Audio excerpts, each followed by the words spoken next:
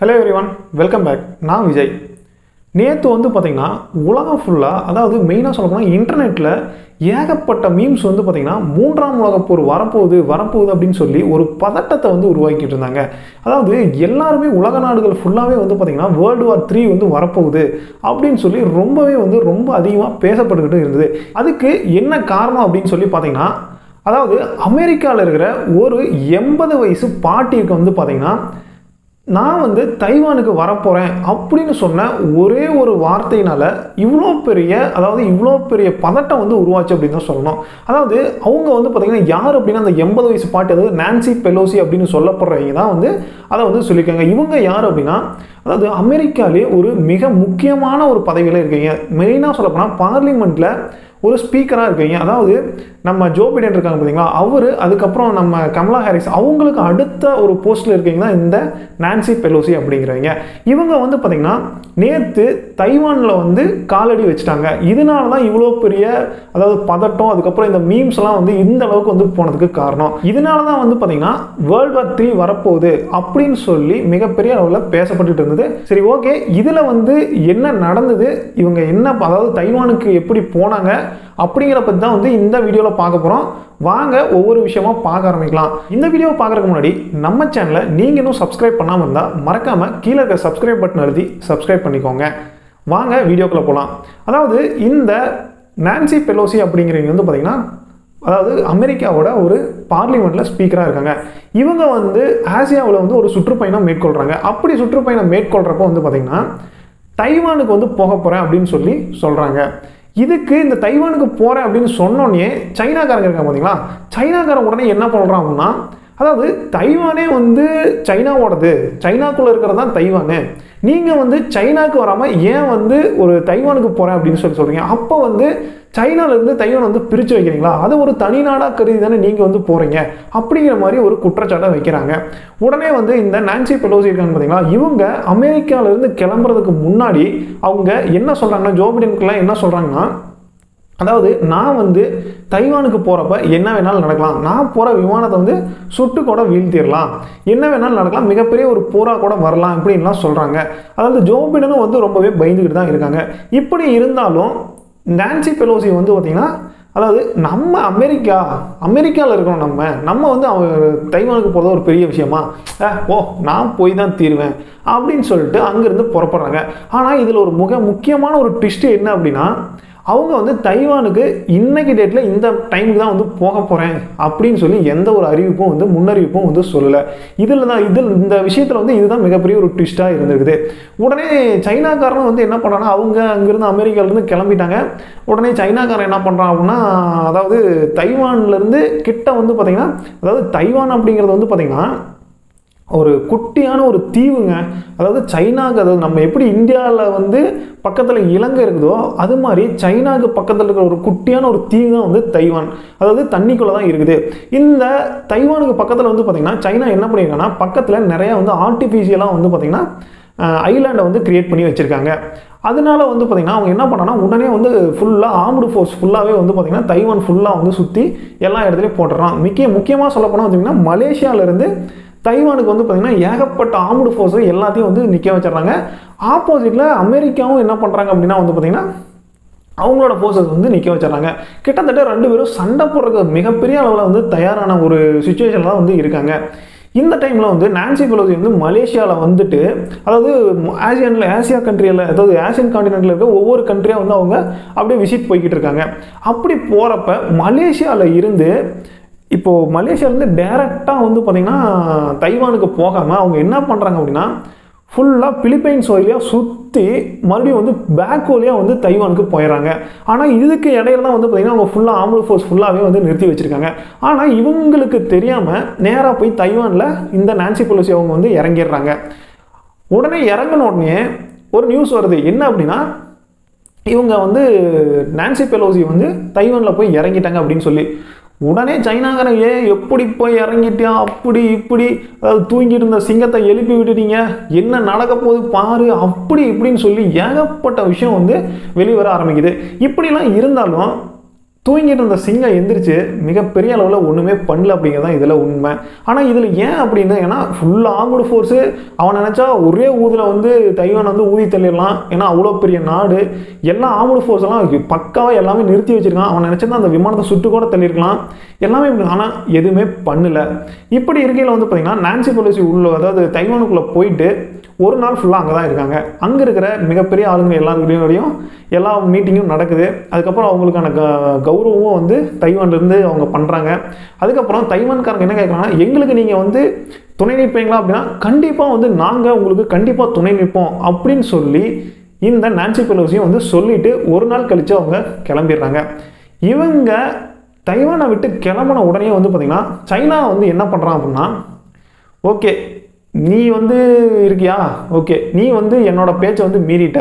நான் உன்னை வந்து கண்டிப்பாக பின்னாடி வந்து வச்சு செய்வேன். அதே மாதிரி அமெரிக்காவை என்ன சொல்கிறான் அப்படின்னா நீங்களும் வந்து நான் என் அதாவது என் பேச்சை வந்து கேட்கல நீங்களும் வந்து மிகப்பெரிய வந்து விளைவுகளை வந்து சந்திக்க போகிறீங்க அப்படி இப்படின்னு சொல்லி மிகப்பெரிய அளவில் பேச ஆரம்பிக்கிறான். அது மட்டும் இல்லாமல் இவங்க கிளம்புன உடனே அதாவது அவனோட ஆர்டிஃபிஷியலை கிரியேட் பண்ணி வச்சிருக்கான்ல ஐலாண்டு அந்த ஐலாண்டு மேலே வந்து எந்த ஒரு ஃப்ளைட்டும் வந்து பறக்கக்கூடாது.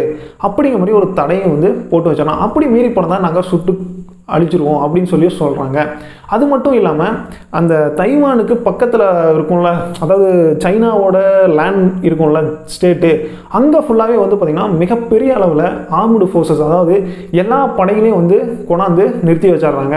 அது மட்டும் இல்லாமல் தைவானை சுற்றி வந்து பார்த்திங்கன்னா ஃபுல்லாக ஆர்முடு ஃபோர்ஸஸ் ஃபுல்லாக வந்து நிறுத்தி வச்சிடுறாங்க. அதாவது இந்த விஷயத்தில் என்னென்னா அவன் சைனாக்காரன் ஒரே ஒரு மோட்டிவ் என்னன்னா தைவான் வந்து எங்களோட நாடு. ஆனால் தைவான்காரன் வந்து என்ன நினைக்கிறான் அப்படின்னா தைவான் அப்படிங்கிறது ஒரு ஜனநாயக நாடாக இருக்கணும். இங்கே வாழ்கிற மக்கள் எல்லாமே சுதந்திரமாக இருக்கணும்.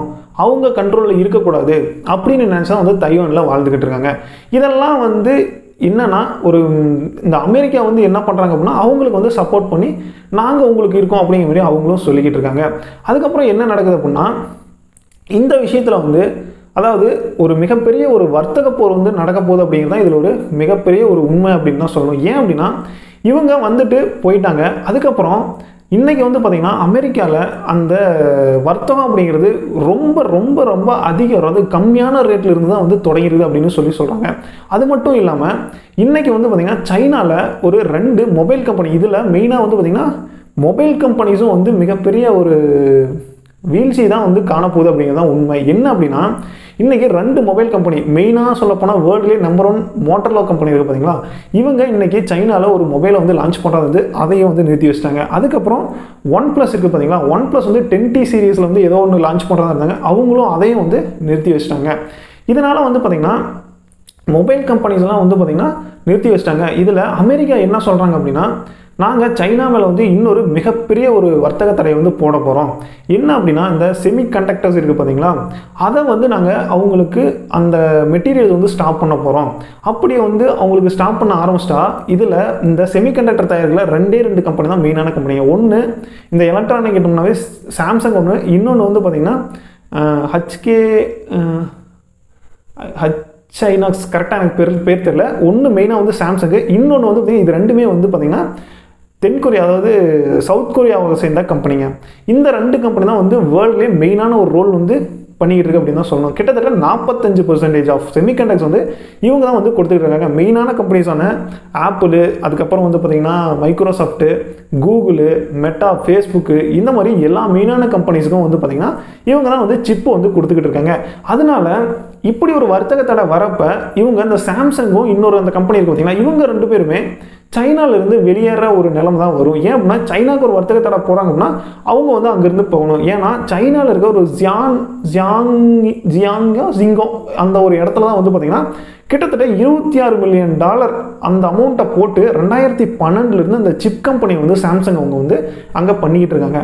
இந்த மாதிரி ஒரு வர்த்தக தடை வரப்போ அவங்க அங்கேருந்து வெளியே வர ஒரு நிலைமை வந்து ஏற்படும். அப்படி வெளியே வந்ததுன்னா சைனாவில் இந்த செமிகண்டக்டருக்கான ஒரு தட்டுப்பாடுங்கிறது மிக அதிக அளவில் வரும். அப்படி வரப்போ சைனா வந்து பார்த்திங்கன்னா மிகப்பெரிய ஒரு ஆட்டத்தை வந்து காண ஆரம்பிக்கும் அப்படின்னு தான் சொல்லணும். இதை வந்து அமெரிக்கா வந்து ஒரு அமைதியாக வந்து பின்னாடி வந்து பண்ணிக்கிட்டு இருக்காங்க அப்படின்னு தான் சொல்கிறாங்க இது எந்த அளவுக்கு உண்மை அப்படிங்கிறது நமக்கு தெரில அதுக்கப்புறம் வந்து பார்த்திங்கன்னா இன்னொரு விஷயம் என்னென்னா இந்த நான்சி பெலோசி வந்துட்டு போனதுக்கப்புறம் அதாவது நான்சி பலோசி வரப்பையும் வந்து பார்த்திங்கன்னா அதாவது உள்ள நாட்டுக்குள்ளே இருக்கிறப்பயே கிட்டத்தட்ட இருபத்தி ஒரு வார் ஃப்ளைட் வந்து பார்த்தீங்கன்னா தைவானோட எல்லையில் வந்து ஃபுல்லாக சுற்றிக்கிட்டு இருந்தது. அதாவது எந்த நேரத்தில் இருந்தாலும் அட்டாக் பண்ணலாம் அப்படிங்கிற ஒரு சுச்சுவேஷனில் தான் இருந்தது. அது மட்டும் இல்லாமல் இன்றைக்கி வந்து பார்த்திங்கன்னா இந்த தைவானில் இருக்க பீப்புள்ஸ் எல்லாருமே அதாவது தைவான் நாடு என்ன ஆயிடுச்சுன்னா தை சைனா வந்து உக்ரைன் வந்து அதாவது உக்ரைன் வந்து எப்படி ரஷ்யா வந்து எதிர்பாராத டைமில் அட்டாக் பண்ணிச்சோ அதே மாதிரி சைனாவும் வந்து தைவான் அட்டாக் பண்ணலாம் அப்படின்னு ஒரே ஒரு காரணத்தினால அங்கே வந்து ஒரு ப்ரிகாஷனாக வந்து போர் வந்து ஒரு குண்டே போடுறாங்க அப்படின்னா எப்படி வந்து அவங்க வந்து தற்காத்துக்கலாம் அப்படிங்கிற விஷயத்த வந்து கவர்மெண்ட்டே வந்து மக்களுக்கு வந்து சொல்லித்தர ஆரம்பிச்சிட்டாங்களாமா? அதாவது ஒரு போர் வருது அப்படின்னா அதுலேருந்து எப்படி நம்ம வந்து சமாளிச்சுக்கலாம் அப்படிங்கிற விஷயத்த வந்து அவங்க டீச் பண்ண ஆரம்பிச்சிட்டாங்களாமா? ஏன்னா ரொம்பவே வந்து எப்படியும் வந்து ஒரு நாளைக்கு வந்து திடீர்னு வந்து குண்டு போட ஆரம்பிச்சிட்டாங்களோ இல்லை போர் புரிய ஆரம்பிச்சிட்டாங்கன்னா எப்படி வந்து சமாளிக்கலாம் அப்படிங்கிற விஷயத்த வந்து சொல்லிக் கொடுக்க ஆரம்பிச்சிட்டாங்க மக்களுக்கு. இதனால வந்து பார்த்திங்கன்னா அதாவது வேர்ல்டு பீப்புளெலாம் வந்து மிகப்பெரிய அளவில் பாதிக்கப்படுறாங்க அப்படின்னு தான் சொல்லணும். ஏன் அப்படின்னா ஆல்ரெடி உக்ரைனுக்கும் ரஷ்யாவுக்கும் வந்து சண்டை வந்தது. இதனால என்னாச்சு? எல்லா நாடுகளுக்கும் வந்து வர்த்தக தடை அவன் வந்து விதிக்க ஆரம்பித்தாங்க சில நாடுகள் வந்து இவங்களுக்கு சப்போர்ட் பண்ணாங்க சில நாடுகள் வந்து அவங்களுக்கு சப்போர்ட் பண்ணாங்க ஐரோப்பாவுக்கு.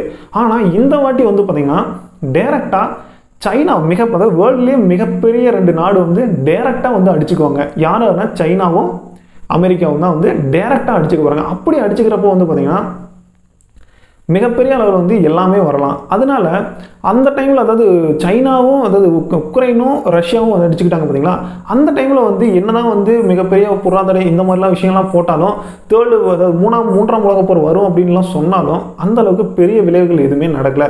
இதில் பின் பின்னாடி பின்விளைவுகள் மக்களுக்கு உலகத்தில் இருக்க மக்களுக்கு அப்படின்னா இந்த வர்த்தகத்தினால வர்த்தக போகிறனால எல்லா ரேட் வந்து ஏறிச்சு பார்த்தீங்களா இது மட்டும்தான் வந்து மிச்சமாக இருந்தது. ஏன்னா பெட்ரோல் டீசல் விலை ஏறிச்சு அதுக்கப்புறம் பால் விலை இந்த மாதிரி நிறைய விலைகள் வந்து ஏற ஆரம்பிச்சது. இதே மாதிரி தான் இந்த இதுலேயும் நடக்கலாம் அப்படின்னு நம்ம சொல்ல முடியாது. ஏன்னா இது வந்து சைனாவும் அமெரிக்காவும் அடிச்சுக்க போகுது. அதில் வந்து எல்லா நாடுகளும் கண்டிப்பாக பங்கெடுத்தாகணும். ஒருவேளை இந்தியாவே இந்தியாவுக்கே அந்த மாதிரி ஒரு நிலமுறைனா தான் இந்தியா வந்து இதில் ஒரு டெசிஷன் எடுத்தாகணும். ஏன்னா உக்ரைன் ரஷ்யா போரில் வந்து பார்த்திங்கன்னா இந்தியா வந்து நடுநிலைமையிலே நின்றுச்சு. நான் உனக்கும் சப்போர்ட் பண்ண மாட்டேன். அவங்களுக்கும் சப்போர்ட் பண்ண மாட்டேன் யூரோப்புக்கும். நான் வந்து நடுநிலையாகவே இருந்துக்கிறேன். நான் வந்து வந்து பார்த்திங்கன்னா எனக்கு நீங்கள் வந்து எந்த பொருளை டீசல் தரையா பெட்ரோல் தரையா க்ரூட் ஆயில் தரையா நீ எனக்கு எவ்வளோ கம்மியாக தரையா நான் உங்ககிட்ட வாங்கிக்கிறேன். கம்மியாக தரேன் நான் வாங்கிட்டு போகிறேன் அப்படி ஏதாவது என் நாட்டு மக்கள் தான் எனக்கு முக்கியம் அப்படிங்கிற மாதிரி நின்றுச்சு. ஆனால் ஒருவேளை சைனா சைனாக்கும் அமெரிக்காவுக்கும் ஒரு போர் வருது அப்படின்னா அப்படி இந்தியானால வந்து இருக்க முடியாது. அன்னைக்கு வந்து பார்த்திங்கன்னா ஏதோ ஒரு சைடு வந்து இந்தியா வந்து போய் தான் ஆகணும். அப்படி போகிறப்ப வந்து பார்த்திங்கன்னா நம்ம பார்டர் தான் வந்து சைனாவாக இருந்துகிட்டு இருக்குது. அதனால நமக்கும் வந்து ஒரு மிகப்பெரிய ஆபத்து வந்து ஏற்படலாம். இவங்க எப்படியோ சண்டை கட்டிக்கிறாங்க. ஆனால் இதோட விளைவுகள் அப்படிங்கிறது வந்து பார்த்திங்கன்னா உலகத்தில் இருக்கிற மக்களுக்கு தான் வந்து ஏற்பட போகுது. ஸோ இவங்க இப்போது சைனாக்கும் அமெரிக்காவுக்கும் வந்து வார் வந்தது அப்படின்னா இதில் நீ அதாவது நம்ம இந்தியா வந்து யார் பக்கம் இருக்க போகுது அப்படிங்கிறத நீங்கள் என்ன நினைக்கிறீங்க அப்படிங்கிறத மறக்காமல் கமெண்ட்டில் லீவ் பண்ணுங்கள் அதுக்கப்புறம் இந்த வீடியோ வந்து பார்த்தீங்கன்னா உங்கள் ஃப்ரெண்ட் யாராவது இன்டர்நேஷ்னல் அஃபேர்ஸை பற்றி தெரிஞ்சுக்கணும் அதில் இன்ட்ரெஸ்ட்டாக இருந்தாங்கன்னா அவங்களுக்கு இந்த வீடியோவை ஷேர் பண்ணுங்கள் அவங்களும் இதை பற்றி தெரிஞ்சுக்கிட்டோம். அதுக்கப்புறம் நாளைக்கு இன்னொரு வீடியோவில் சந்திக்கிற வரைக்கும் டாட்டா பபாய் தேங்க்யூ